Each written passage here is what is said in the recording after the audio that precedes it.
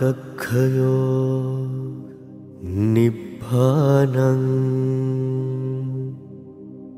द्वेषक्षयो निभानम् मोहक्षयो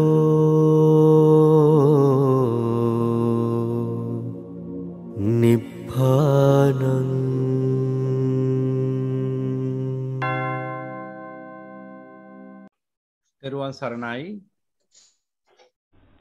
ඊළඟට එහෙනම් අන්නර ජරාව ගැන අපි සඳහන් කළා. දැන් අපි ව්‍යාධි ධර්මය ගැන සඳහන් කරනවා එහෙනම් ව්‍යාධිය සහ ව්‍යාධි ධර්ම කියලා කියන්නේ දෙකක්. එකක් නෙවෙයි. හැම තිස්සෙම දැන් සංයෝජනය සහ සංයෝජන ධර්ම කියන්නේ එකක් නෙවෙයි දෙකක්.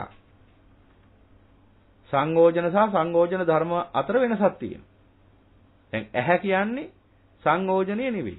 ඇහැ කියන්නේ සංයෝජන ධර්මයක්. රූපය කියන්නේ සංයෝජන ධර්මයක්. ඇහැයි රූපය අතර ගොඩනගෙන චන්දරාගය තමයි සංයෝජනය. ඒ නිසා සංයෝජනය කියන්නේ එකක්, සංයෝජන ධර්ම කියන්නේ තව එකක්. එහෙනම් ව්‍යාධිය කියන්නේ එකක්, ව්‍යාධි ධර්ම කියන්නේ තව එකක්. ව්‍යාධිය කියලා කියන්නේ ඒ රෝග හටගන්නා ලක්ෂණේ. ඒ වෙනසීම කරා ව්‍යසනය කරා ඇදිලා හිටින ලක්ෂණයට තමයි ව්‍යාධිය කියන්නේ. ඒක ඇවිල්ලා හේතුඵල වශයෙන් හටගන්න ලක්ෂණයක්, ස්වභාවයක්. ව්‍යාධිය කියන්නේ ඒ ලක්ෂණයට. ව්‍යාධි ධර්ම කියන්නේ ඒ ලක්ෂණයට ගොදුරු වෙන දේවල් වලට. ව්‍යාධි ධර්ම තුලින් තමයි අපිට මේ ව්‍යාධිය කියන ලක්ෂණය දකින්න හම්බ වෙන්නේ. එහෙනම් මේ ව්‍යාධිය කියන ලක්ෂණය බලපවත්වන ප්‍රපංච ධර්ම වලට කියනවා අර ව්‍යාධි ධර්ම කියලා. එහෙනම් පාන ඇති පාන නැති සියල්ලට මේ ලක්ෂණයක් උරුමයි. ව්‍යාධිය කියන එක. ওই ව්‍යාධි කිව්වහම ගස් කොළන් වලටත් ව්‍යාධි හැදෙන්න පුළුවන්. පාන නැති දේවල් වලටත් එක එක රෝගාබාධ ව්‍යාධි ඇති වෙනවා. එහෙම එකක් හැදුනහම ඒක වෙනසිලාම යනවා. ඒකයි ව්‍යාධි කියන්නේ.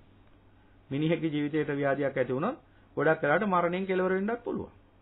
ඉතින් ඒ නිසා වෙනසීමටම ඇදී හිටින නිසා ව්‍යාධි කියලා කියනවා. ව්‍යසනය කරාම ඇදගෙන යනවා. ඒකයි සුද්ධ සිංහලෙන් ව්‍යාධි කියන වචනේ තේරුම. ව්‍යසනය කරාම ඇදගෙන යනවා. ඒ කියන්නේ ව්‍යාධියක් හැදුනොත් මොනතරම් ව්‍යසනයක්ද? හැම අතින්ම නැස්පැත්තිය. හැම අතින්ම නැස්පැත්තිය. හිතේ තියෙන ශාන්තිය නැති වෙලා යනවා, සතුට නැති වෙලා යනවා. ගෙදර ගෙදර දොරේ තියෙන ධන දහනි නැති වෙලා යනවා. ගෙදර මිනිසුන්ගේ සහජීවනයේ සමගිය සතුට සහනිය ඔක්කොම නැති වෙලා යනවා. මහා අසහනයකටපත් වෙනවා සියලුම දෙනා. එක්කෙනෙක්ට ව්‍යාධියක් ඇතුණා නම් හැදුණා නම් ඇති. ගෙදර ප්‍රධානියෙක්ට ව්‍යාධියක් හැදුනොත් කොහොමද? සියලුම දෙනාටත් ඒ ව්‍යාධියේ දුක බලපවත්වන්නේ නැද්ද? එක්කෙනෙක්ට ලෙඩ එක්කෙනෙක්ට ලෙඩක් හැදුනහම ඇති ගෙදරක. අනිත් අයට දුක් විඳින්න සිද්ධ වෙනවා. ඔක තමයි ස්වභාවය. එතකොට බුදුරජාණන් වහන්සේ නම් පෙන්වා දෙනවා අපිට මේ ව්‍යාධි ධර්ම කියන්නේ මොනවද කියලා. කිංච බික්කවේ ව්‍යාධි ධම්මා වදේත. මහාන මොනවද මේ ව්‍යාධි ධර්ම කියලා කියන්නේ? පුත්ත භාරියම් බික්කවේ ව්‍යාධි ධම්මා. දාසි දාසම් ව්‍යාධි ධම්මා. අජේලකම් ව්‍යාධි ධම්මා. කුක්කුට සූකරං ව්‍යාධි ධම්මා. හත්තිගව අස්ස වලවං ව්‍යාධි ධම්මා. ව්‍යාධි ධම්මා හේතේ බික්කවේ උපදේයෝ. එත්තාථයන් ගතිතෝ මුච්චිතෝ අජ්ජාපන්නෝ අත්තනා ව්‍යාධි ධම්මෝ සමානෝ ව්‍යාධි ධම්මං වේව පරියසති. අර දැන් ඉස්සෙල්ලා ජාතිය ගැන කිව්වා වගේම ජරාව ගැන කිව්වා වගේම ව්‍යාධි ගැන කිව්වා වගේම ව්‍යාධිය ගැන කියන්න තියෙන තේ ටිකමයි. දැන් මේ තුනේදිම ඒ අවසානයේ තියෙනවා මේ තුනේදිම දක්වලා තියෙන බුදුරජාණන් වහන්සේ පැහැදිලිවම මේ සියලුම දෙනා මෙන්න මේ ජාතිය ජරා ව්‍යාධි කියන මේ සෑම ලක්ෂණයකදීම මුලාවටපත් වෙලා එහිම බැහැ ගන්නවා කියලා.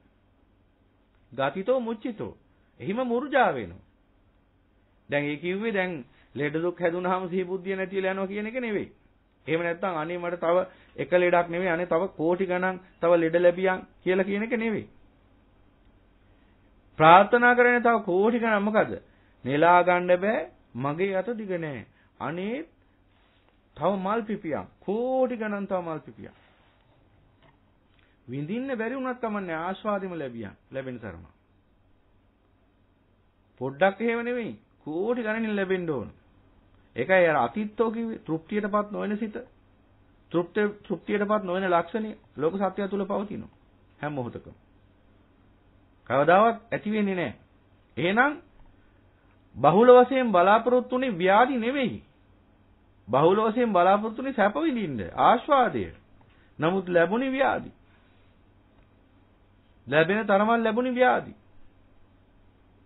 එහෙනම් ජීවිතේට ලං කරගෙන තියෙන මේ මොනවද ව්‍යාධි ධර්ම මේ තියෙන්නේ? ලං කරගත්ත ව්‍යාධි ධර්ම ටික. මෙන්න බුදුරජාණන් වහන්සේගේ ධර්මය අපේ නෙවෙයි. බුදුරජාණන් වහන්සේ දේශනා කරන්නේ. සියල්ල දකින්න බුදුරජාණන් වහන්සේ. කිංච බික්වේ ව්‍යාධි ධම්මං වදේත පුත්ත බරියං බික්කවේ ಜಾති ධම්ම ව්‍යාධි ධම්ම. මහාන පුත්‍රයා භාර්යාව එහෙම නැත්නම් අඹදරුවෝ කියලා කියන්නේ ලෙඩ ගොඩක් කියලා සුද්ධ සිංහලෙන්ම කියන්නේ. නිති දැන් පාලියෙන් කිව්වම නෝක තේරෙන්නේ නැත්තේ. සුද්ධ සිංහලෙන් කිව්වොත් මෙන්න මේ ටිකට කියන්න පුළුවන් මෙහෙම.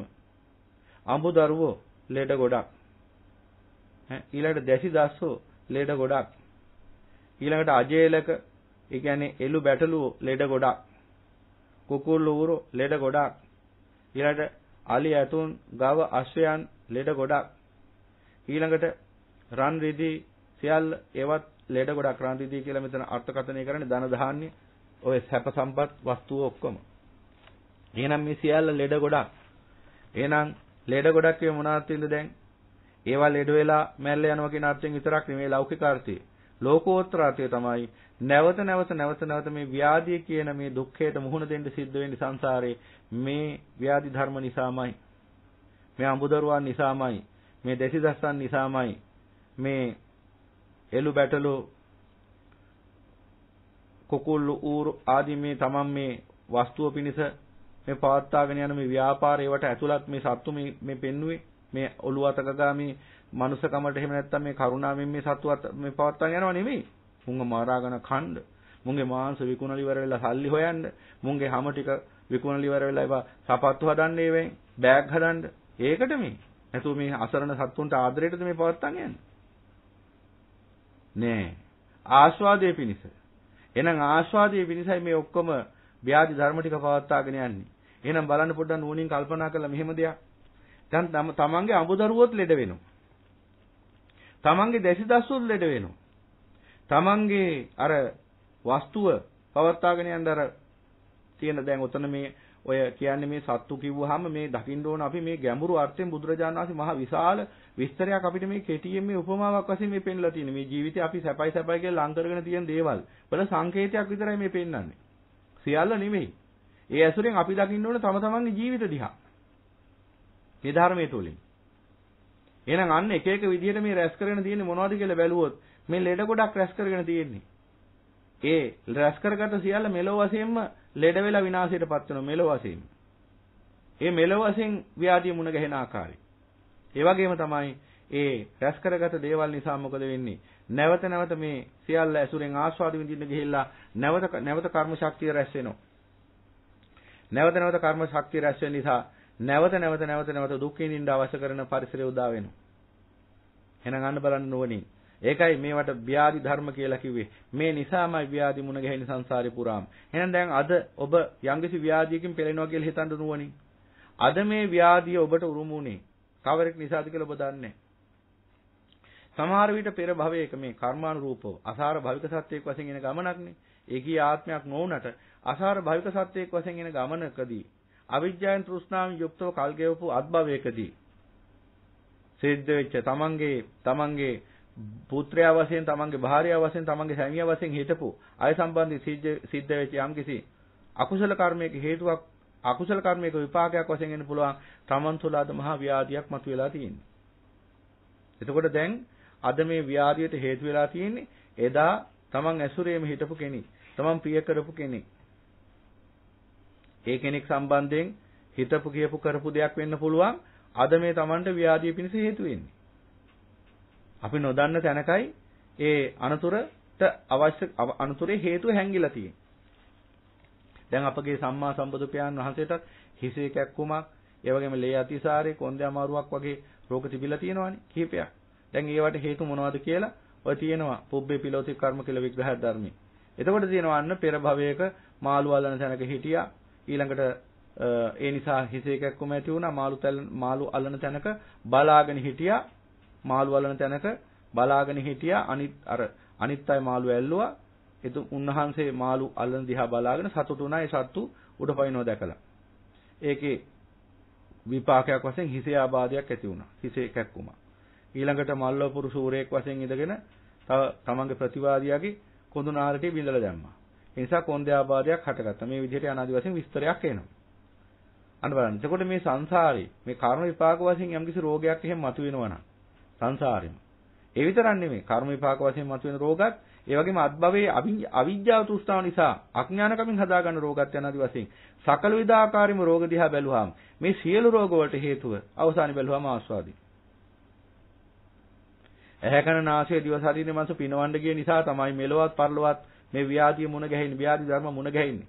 මෙලවත් ඇහැ කන නාසය දිව ශරීරය මනස පිනවන්න ගිය නිසා නේද පුත්ත බරියන් දාසි දැසි දාසි දාසං යනාදි වශයෙන් අජේලකම් යනාදි වශයෙන් මේ අය මුණ ගැහෙන්නේ. මෙලවත් ආස්වාදී නින්න ගිය නිසා. එහෙනම් මෙලොව වශයෙන් උත් ආස්වාදී නින්න ගිය කෙනාට මේ ව්‍යාධි ධර්ම ටිකයි මේ ලෙඩ රෝග ටිකයි මේ රෝග ගොඩයි මේ ලෙඩ ගොඩයි මුණ ගැහෙන්නේ. ලෙඩ ගොඩක් මුණ ගැහෙන්නේ. ඒ නිසාම මේ අය නිසාම ගොඩනගෙන කර්ම ශක්තියෙන් නැවත පරලොවත් මේ විදිහම ව්‍යාධි ධර්ම ගොඩක්මයි මුණ ගැහෙන්නේ. ඒ නිසා මෙලවත් පරලොවත් මේ ව්‍යාධි ධර්මම උදා කරලා දෙන මුණ ගැස්සන මෙසියල්ල ව්‍යාධි ධර්ම වශයෙන්ම දකින්න ඔබ දක්ෂද දක්ෂයිද එහෙම දකින්න. දැන් බලන්න මේටි කිංච බික්කවේ ව්‍යාධි ධම්මං වදහෙත පුත්ත බරියන්. ඔබට පුළුවන් එහෙම දකින්න. අඹු දරුවන් ලෙඩ ගොඩක් වශයෙන් ඔබට දකින්න පුළුවන්. රෝගයක් වශයෙන්. ව්‍යාධියක් වශයෙන් දකින්න පුළුවන්. ව්‍යාධි ධර්මයක් වශයෙන් දකින්න පුළුවන්. දකින්න පුළුවන් නම් ඔබ බෞද්ධයෙක්. දකින්න බැරි නම් අබෞද්ධයෙක්. කරන්න දෙයක් නැහැ. බෞද්ධයා කිව්වේ බුද්ධිමතාට. බුද්ධිමතා කියන්නේ ඇත්ත දකින්න කෙනා, සත්‍ය දකින්න කෙනා. ඉතින් මෝඩයා සත්‍ය දකින්න කැමති නෑ. ඉතින් ඒ නිසා ඇත්ත දකින්න බැරි නම් එතන ඉන්නේ අඥානී. එයාට බෞද්ධයෙක් කියලා කියන්නේ බෞද්ධයා කියන්නේ ඇත්ත දකින්න කෙනා. ඇත්ත කියන එක මිහිරි නෑ තිත්තයි. ඇත්ත මිහිරි නෑ. ඇත්ත තිත්තයි. ඇත්ත දකින්න එක තිත්තයි. හැබැයි මුලින් පස්සේ මිහිරි. ඇයි ඒ? ලෙඩේ හොඳ වෙන බව තේරෙනකොට ඒ මිහිරි අමිහිරි කසායත් මිහිරි පානයක් බවට පත් වෙනවා. නිසා ධර්මයේ තුලින් ප්‍රතිඵල ලැබෙනකොට තමයි මේ ධර්මයේ රසය දැනෙන්න ගන්න. මුලින් ධර්මයක් නීරසයි වගේ දැනෙන්න පුළුවන් කෙනෙක්ට. බන අහන එක හරි කම්මැලි වැඩක්. අයියෝ බන නම් හැමතිස්සෙම බන බන එපා වෙනවනේ. ඔහොම කියන්න පුළුවන්. තව නොයෙකුත් ආකාරයෙන් ධර්මයට නිග්‍රහ කරන්න පුළුවන්. ඒ මූලික මට්ටමේදී පහු වෙනකොට ධර්මයේ රස වැටෙනකොට ධර්මයේ තරම් රස කිසිවක් නැහැ කියලා වැටහෙනවා එදාට. සබ්බ රසං ධම්ම රසං ජිනාති. සියලු රස ධර්ම රසයේ ඉස්සරහා පරාජයටපත් වෙනවා. සියලු රසයන් අතරින් ධර්ම රසයම නිවන් ශාන්ති විමුක්ති රසයම උදා කරලා දෙනවා. අන්න බලන්න. එහෙනම් මෙන්න මේ සියල්ල ගැන නුවණින් දැකීමේ ඥාන ශක්තිය ඇති උතුම් මිනිසෙක් වෙන්න ඕන. බුද්ධ ශ්‍රාවකෙකු යන්නේ ආටයි. එහෙනම් දකින්න ඔබ බය නැතුව මේ පුත්‍ර භාර්යාව අඹ දරුවෝ ලෙඩ ගොඩක් වශයෙන් ව්‍යාධි ධර්ම වශයෙන් තමන් හා වටා ජීවත් වෙන සියලුම දෙනා ව්‍යාධි ධර්ම වශයෙන් ලෙඩ වශයෙන් රෝග වශයෙන් තමන් ජීවිතයේ ආස්වාදයේ පිණිස රැස් කරගත්ත ලං කරගත්ත පණ ඇති පණ නැති සියල්ල ව්‍යාධි ධර්ම වශයෙන් දකින්න ඔබ දක්ෂ වෙන්න ඕන.